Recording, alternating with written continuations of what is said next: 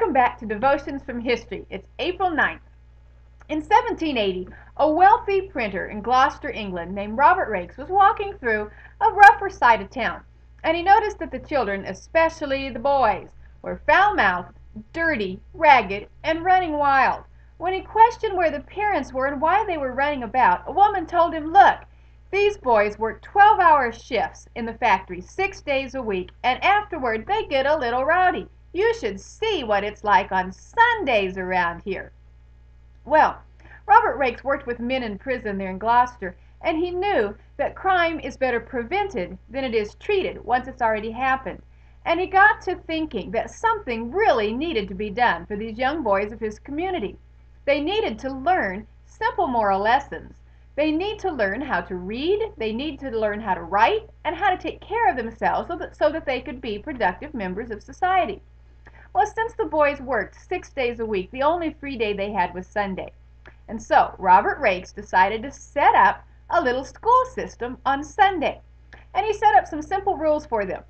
He would give you a penny to come to his Sunday school, but you had to sit still and you had to listen.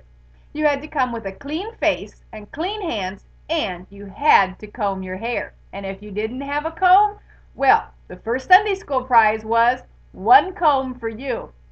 Well, Sunday after Sunday, the children around Robert Raikes grew and grew and grew. Finally, even the girls asked to come.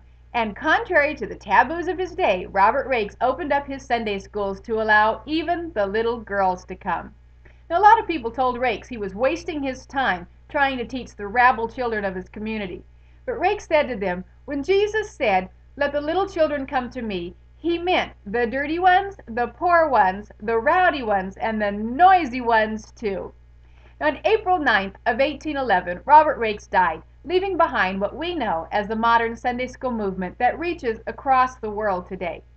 Mr. Raikes saw a need in his community and he decided to address it and do something about it. How about you? As you look around your community, can you see a need that needs addressing? Maybe it's something like what Mr. Raikes saw. Maybe you see little children who need some teaching. Maybe you see an elderly person who could use a hand around the house. Maybe you see something going on in your city government that needs addressed. Whatever it is, history is just waiting for somebody like you to come along and make it happen.